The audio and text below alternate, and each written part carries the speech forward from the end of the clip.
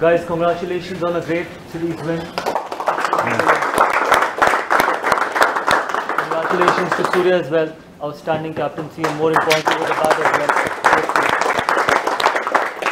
Guys, I asked for something before the start of the game and you absolutely delivered it. This is what happens when you keep fighting. You don't give up. These kind of games happen. And the only way these games can happen is when you keep fighting on every delivery and for every run. And this was the example.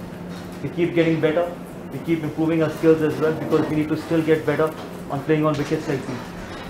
Because we might end up getting these kind of wickets. So we should first assess the situation and conditions really quickly and what is the past score as well. So there are a lot of learnings from this game, but more important than, uh, than not, it's, a great series. Let's carry on. Some of the guys who will not be part of the 50 over format will have a longer break.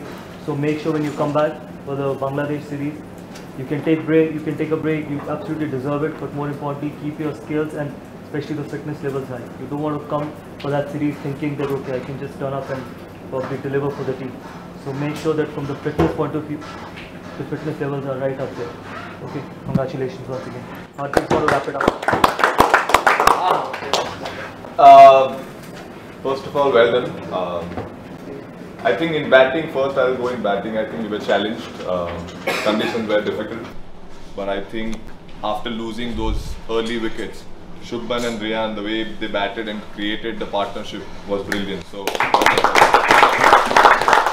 I think when we speak about situational awareness, I think that point of time what you both did was very, very important. And that gave us a platform to at least reach to a decent total which our bowlers can, you know, uh, make sure and, uh, you know, bowl at the right areas. Especially, uh, you know, I always emphasize on the fact that the lower order has to come and uh, chip in. And I think uh, Washi and uh, those eight runs by Bishi was very, very important. As Gautibai mentioned, Surya, well done on making sure that the way you rotated the bowlers, um, making sure, you know, showing faith in the, in the bowlers which you gave in the last couple of overs. That was brilliant. And as a bowling group, obviously it was fantastic. Everyone chipped in. Washi, well done, buddy.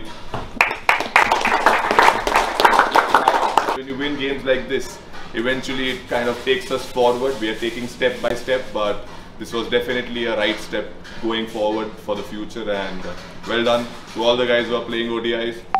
Kill it. Continue.